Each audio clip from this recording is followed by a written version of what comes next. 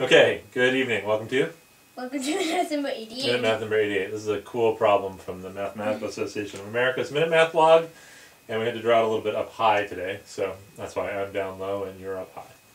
Yay! 13 black and 6 white hex hexagonal tiles were used to create the figure.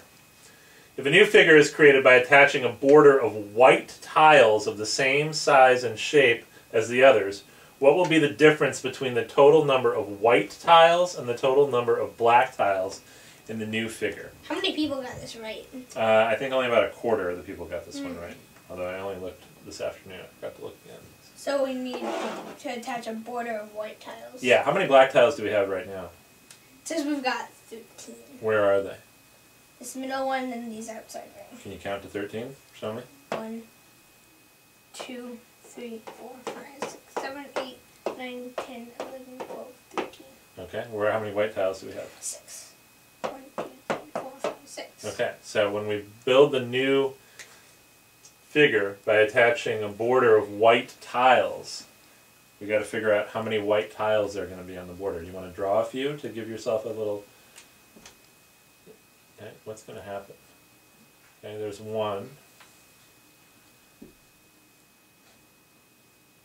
There's two. It's gonna keep going. Yeah. Now, can you count how many there are going to be going around? Maybe maybe mark that. Maybe mark one of those is where you're starting to count. Okay, there's one. Two, There's gonna be two, three. There's gonna be one on each edge. Three, four. No, this is this is one. Okay, we'll go back to the beginning. Okay, So where's where's there gonna be one and where's there gonna be two edges that you use? One edge I'm gonna it's gonna be on this. Maybe it'd be a good idea to draw that one. It's gonna be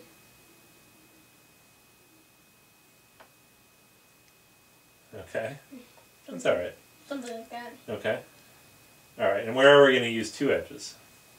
When we got something like that. Okay, Like I'm trying up there. all right, great. So now try to count the ones that'll go around the outside. One, One, two, two, three, three, Four, four, five, six, six, seven, eight, eight, nine, nine, ten, 10, 11, 12, 13, 13, 14, 14, 15, 16, 17, 18. 18. So why don't you write that down somewhere? It looks like there's going to be 18 new white tiles. So how many white tiles will there be total in the new figure? There's 6 plus 18, which is 24. Okay. And how many black tiles will we have in the new figure? We'll still have 13. We'll still have 13. So what's the difference between the white tiles and It's the black tiles?